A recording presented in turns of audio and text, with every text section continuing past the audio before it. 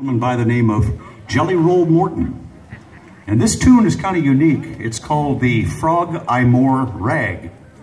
Back in the early days of vaudeville, um, Jelly Roll used to play piano for the various acts that would come and play the vaudeville shows, and there was a guy who dressed up as a frog. His last name was Moore, and they called him Froggy Moore. So Jelly Roll wrote this tune called the Frog I More Rag.